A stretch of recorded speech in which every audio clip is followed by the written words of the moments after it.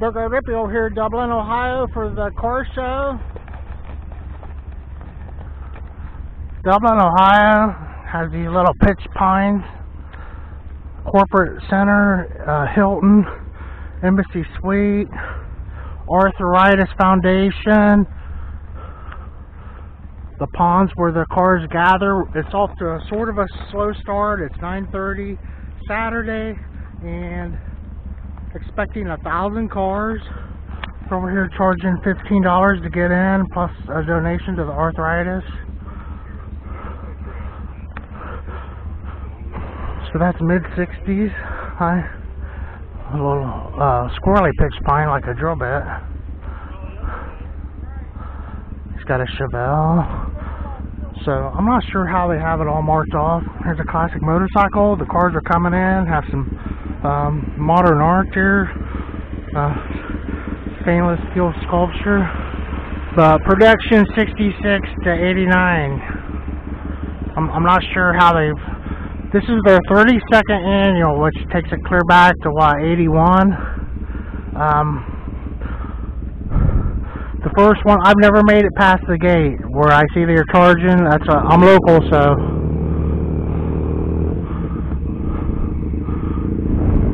I'm, um, a friend of mine, I have a complimentary admission from a friend of mine, a business associate, also a good friend. I paid my way in. He's wanted me to be here today. Uh, I hope to be here a few hours. These Avantis look brand spanking new with no exaggeration. I mean brand new Avantis. I'm not sure um, how they did it, but and they're the modern tires from 2022. Um, these cars look like they just rolled off the uh, assembly line in every way. This is as close as I'm going to get to them. This one has square headlights and that one has round ones. So they're expecting a thousand cars from all over the Midwest. That car was over at Clark County by Springfield, I guess. The registration was anyway. And they're showing where this this Avanti has a 13,000 original miles, so in some terms it would be considered fairly new. It has a General Motors transmission. Okay, and and the the engine has been replaced already. Um, the Avanti's powered with a Chevrolet products, new, new, uh, it's got a Z28 engine in it. That's why I'm saying that the 13,000 in the old days, that's, you need a new car at that, you know, that's all the miles you put on a car. And it has a factory sunroof, which is cool. And another thing, they're fiberglass cars. I, th I thought it was a door that went up there, but that's just a body line and the, it looks like a door, but the, the door ends right there not really familiar with them. And uh, it'd be hard to find someone to work on one fiberglass cars like Corvettes and things. Moving our way uh, through here. We're going to be skipping over a lot of stuff. I'm not sure what this is about.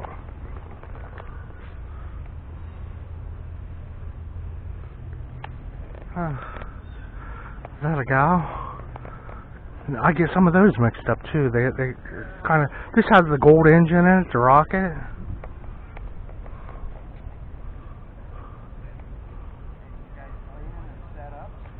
Beautiful convertible car too. And check out this. Uh, he's got the Lamborghini doors. They they have uh, to drive your car over the curb. They think of everything, don't they? Don't. Yeah. It's a good good thinking, you know.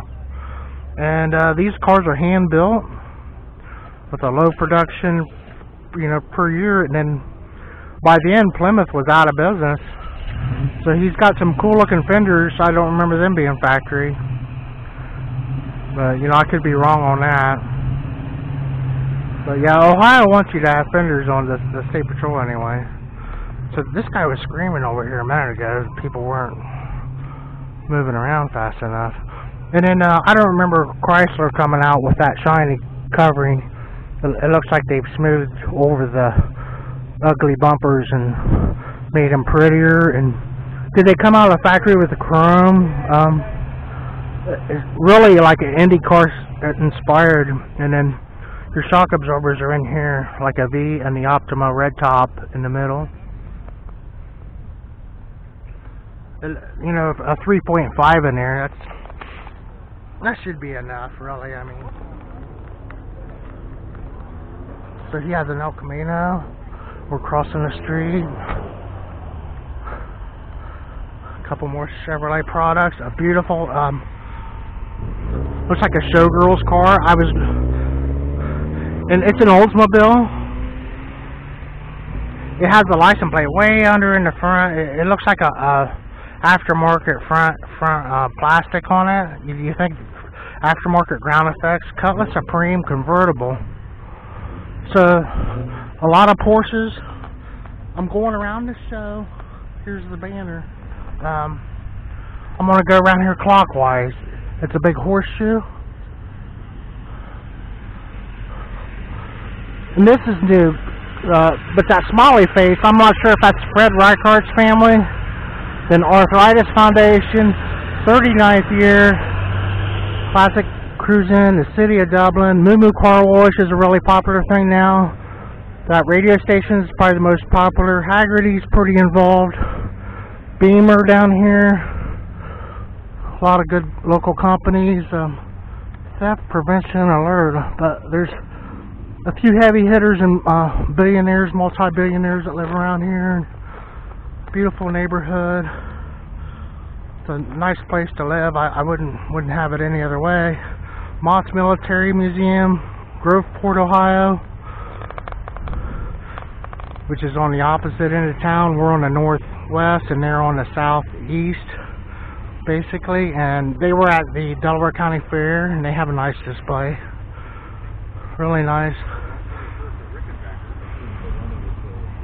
Didn't make it to the air any uh, things. We'll have to get over here sometime to their museum. Some trench art in there, some gunny sacks. Those, those work good for gardening. A trunk, and then a practice chute over top of the easy up. Some guns there, possibly from International. Ammo, the flashlights, got a lot of things there. Be fun for the kids. Some concertina wire.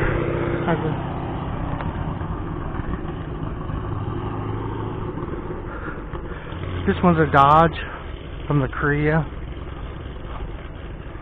M2 or something. A little Continental flathead in there probably. A Kaiser I suppose. Might be a GMC. I think it's an older one. I don't know. It's got the fifth wheel on it. This is the Hilton, the military tribute vet. There's my car where I parked. I'm at the I'm at the Hilton. Here's the Rolls Royce. Have my room at the Hilton.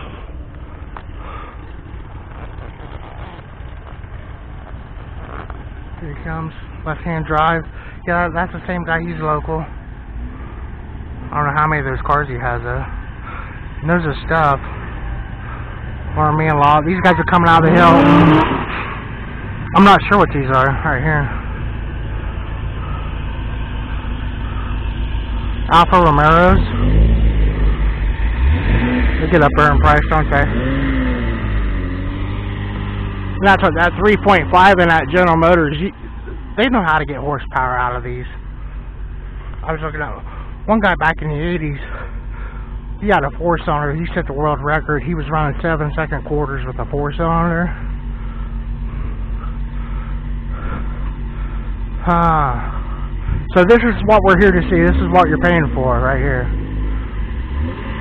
And I'm not sure what it is. And then I was up to Auburn, which they're not going to have that anymore because Cruzy's a soccer field now. And uh, there's Alfa Romeos, I think it was, come around the corner. And I called them Mercedes-Benzes. And when I looked at the auction results, they it was really scary what they brought. It was into the atmosphere valuation. Um, I mean, just for someone to be driving something that cost that much, it was incredible.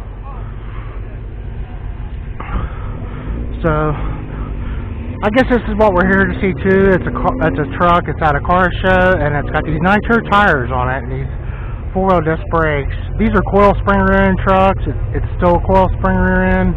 It's marked at 20, but to have the coils, it's, it was a 10 or 15. If I remember right, that was a long time ago. So that's kind of cool that there's a lot of cars coming in. They told me I'd be here a while, but I I dunked down underneath this. Just I haven't seen one of these for a while. They rust out.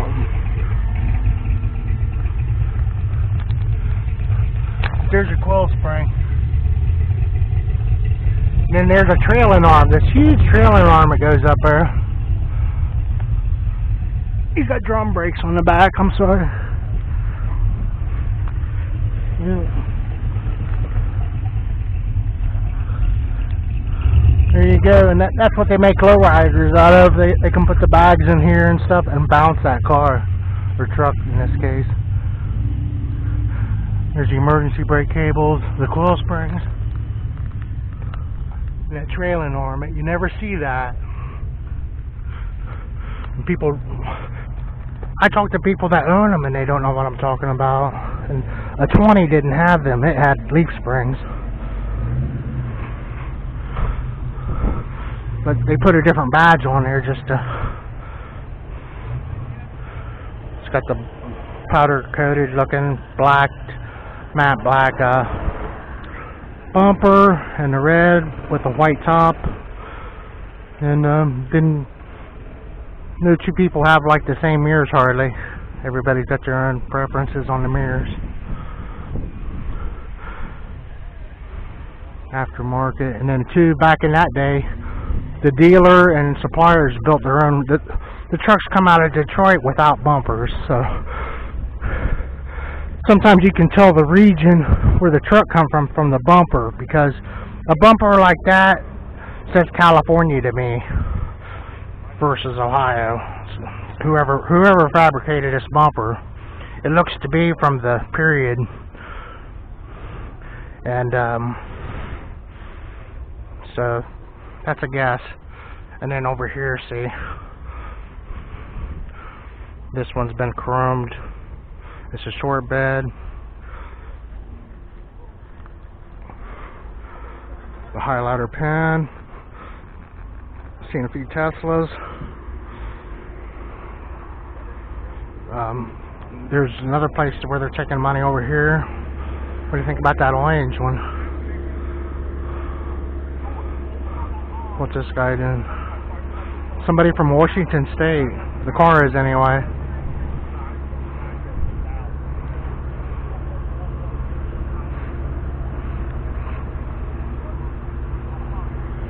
That's what um I know some people had one and they, they bought it brand new and then um actually he passed away and she's still alive.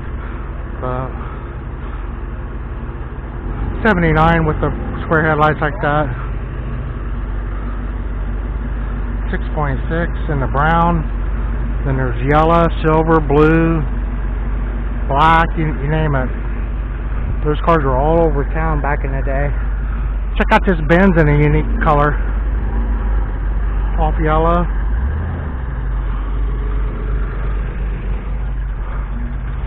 But the Sinclair with those um, a tri-power and probably a flathead, you think? Yeah, a Hemi.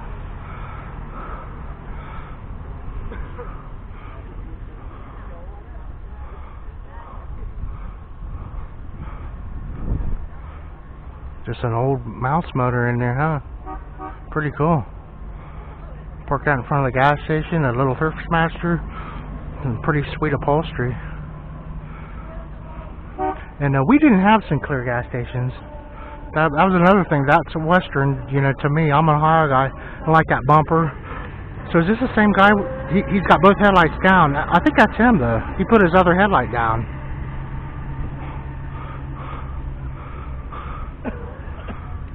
cord. A cord? Yeah. A Job Master 261.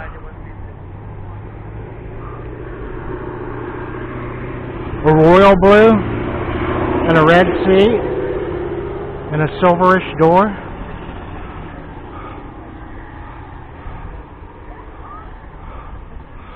some tubeless radials.